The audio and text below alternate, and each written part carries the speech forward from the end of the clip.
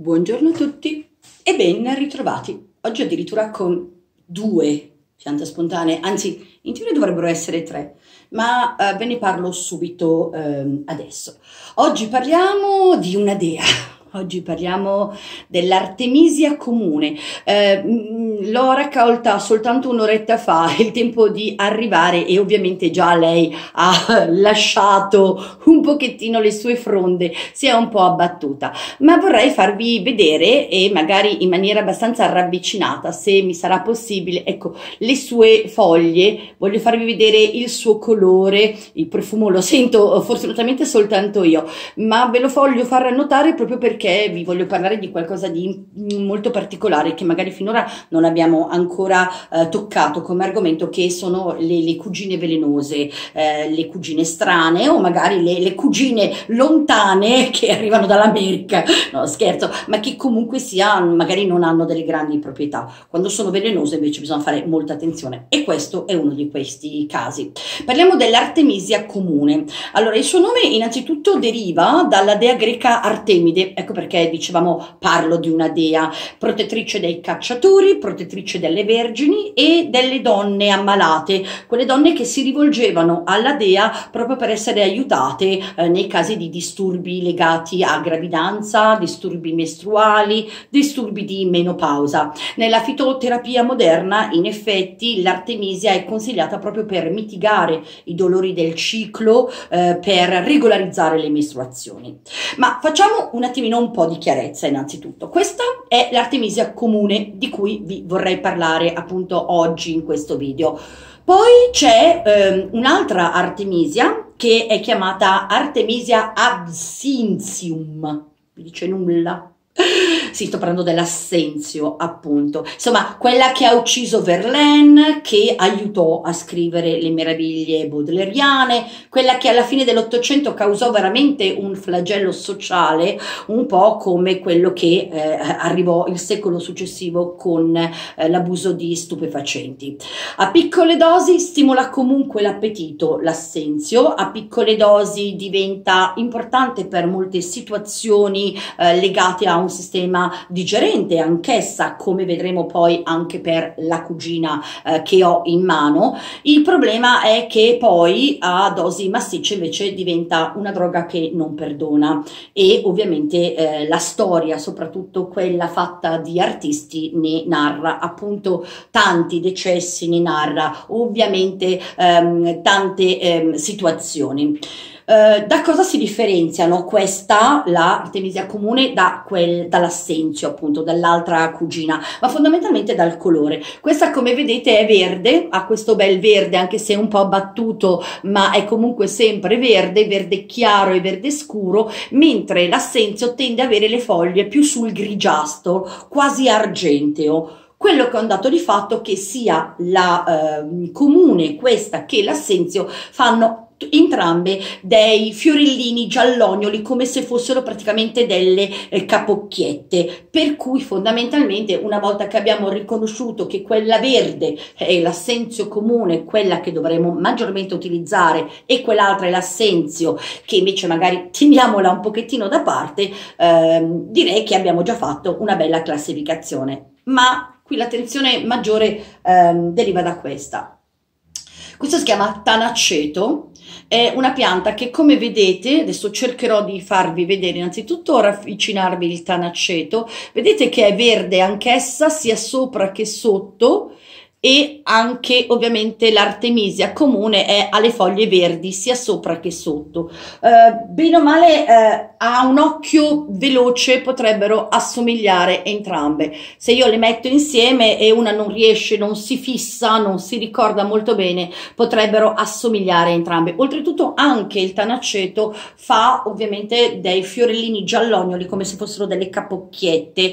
Questo però è un sosia quasi velenoso o comunque il suo veleno ce l'ha. Ha ovviamente come abbiamo detto delle foglie molto simili, anche loro, ha anch'esso dei fiorellini eh, gialli, Per cui facciamo attenzione a non confonderle, sia che vogliate andare a raccogliere l'artemisia comune, sia che desiderate andare a raccogliere eh, l'assenzio vero e proprio. Eh, fate attenzione appunto a non confondere le due piante, eh, soprattutto quando c'è un discorso di consumo alimentare. Questo perché eh, il, il consumo del tanaceto può provocare dei crampi, dei disturbi alla vista e anche dei danni epatici. La sua tossicità non è altissima, è abbastanza moderata, però è sempre sempre ovviamente meglio fare attenzione piuttosto che rischiare ovviamente di abusare di qualcosa che poi alla lunga può un po' regalarci dei danni non piacevoli. Torniamo però alla nostra bella Artemisia comune. Oh, sembra che durante le marce dei centurioni, eh, le marce dei romani, i centurioni stessi avevano l'abitudine di adornare i loro sandali con delle foglie di Artemisia comune. Eh, guarnivano i sandali per prevenire le lesioni ai piedi stessi stessi e soprattutto per alleggerire la camminata e renderla meno stanca. Questa cosa è arrivata un po' ai giorni nostri, o perlomeno io ricordo, i miei nonni, essi stessi contadini, avevano l'abitudine proprio a mettere delle foglioline di Artemisia all'interno delle scarpe durante la loro giornata nei campi, perché appunto eh, dicevano alleggeriva la giornata, i piedi erano meno stanchi, perché no?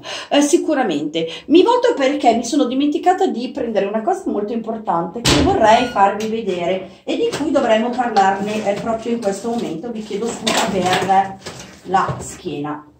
Eccola qua. Um, parlando appunto di Artemisia non si può che citare questa. Nella medicina tradizionale cinese, che profumo incredibile, è usata da millenni per la pratica della moxa. Eh, questi bastoncini che vi, sto, vi, vi, vi, avvicino sono appunto fatti dalle foglie di artemisia che vengono fatte seccare e poi ehm, compresse all'interno, viene scaldata la punta viene accesa, viene resa incandescente, la si avvicina alla pelle senza mai toccare la pelle perché una volta accesa lei eh, raggiunge comunque una temperatura molto alta, si avvicina alla pelle, si avvicina ai punti dell'agopuntura per andare a fare che cosa? Per andare a riscaldare la parte, per andare a tonificare, per andare così a lavorare in profondità e andare piano piano a togliere quelli che possono essere delle infiammazioni eh, che perdurano nel tempo, dei dolori ristagnanti insegnanti. L'artemisia fa anche questa e in medicina tradizionale cinese da qualcosa come 3000 eh, 4.000 anni si usa proprio per questa cosa. Eh, ha un profumo credetemi incredibile quando è secca e anche quando è fresca il suo profumo è veramente piacevole. Eh, una volta accesa, credetemi, mm, è abbastanza impregnante. Ecco perché l'artemisia, così come il sigaro per la moxa, da parecchio tempo a questa parte eh, viene, è stata bypassata da dei sigari di moxa in carboncino, che comunque comprende sempre l'artemisia stessa, ma in questo caso eh, l'odore è meno perdurante sull'abbigliamento e soprattutto all'interno di un ambiente chiuso. Bene, Abbiamo parlato di questo, ora dobbiamo comunque eh, vedere di fare un attimino di chiarezza anche sulle proprietà, sull'uso della nostra artemisia comune. Ha proprietà, abbiamo detto prima, eh, di grande aiuto legate a un discorso di eh, circolazione ehm, legata alla mestruazione, per cui menopausa e dolori mestruali, ma le sue proprietà sono tendenzialmente depurative, sono disintossicanti del fegato e di tutto l'apparato digerente facilità la digestione dei cibi, ha anche azione fermifuga. Uh, dove si trova?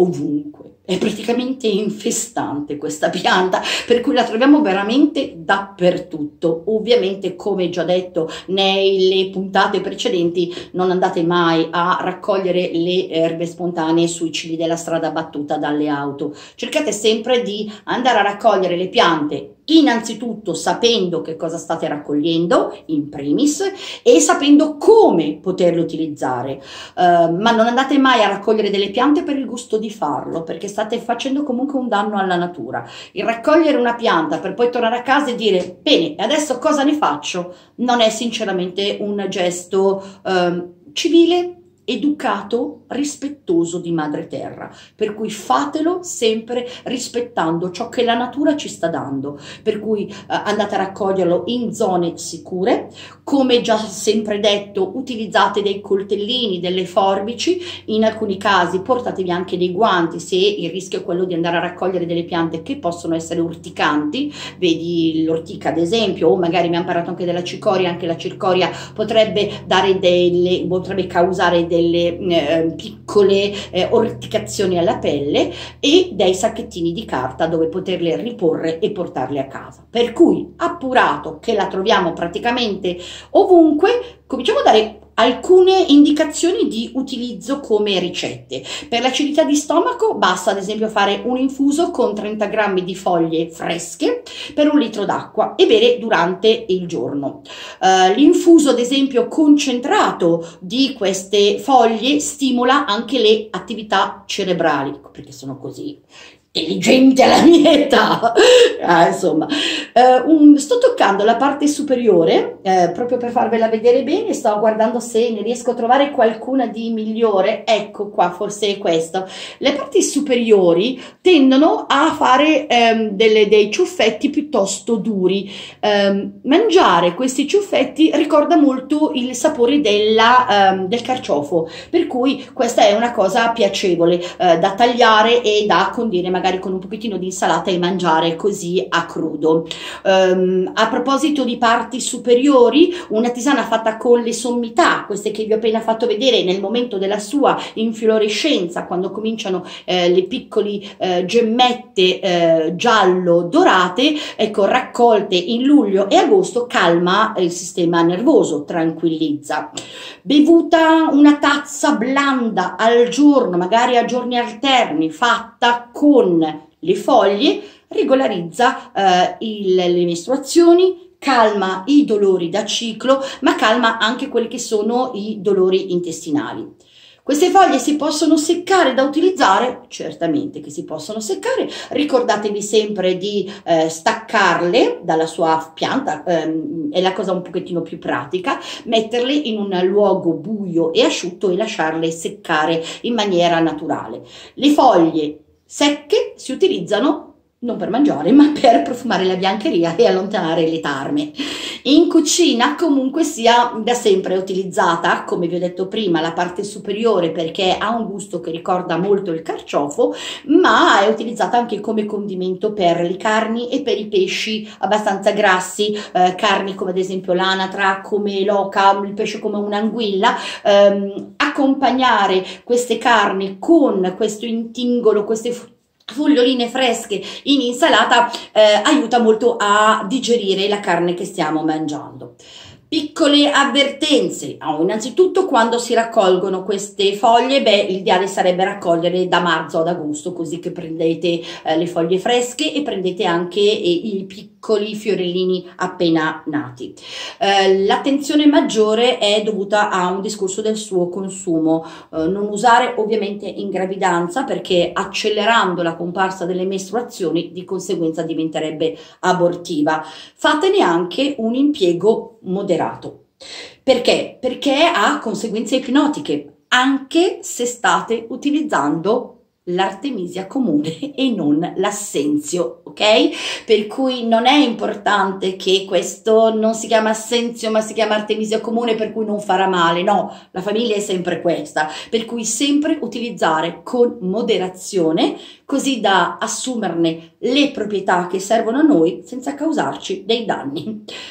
E questo è tutto. Io vi auguro una buona caccia all'assenzio, caccia all'artemisia comune, facendo attenzione a non cacciare o essere cacciati dal tanaceto. Questa è la sosia o comunque la somigliante in cui potreste incappare, ma è quella pericolosa. Per cui attenzione a questa e buona raccolta a tutti. Ci vediamo alla prossima erba spontanea.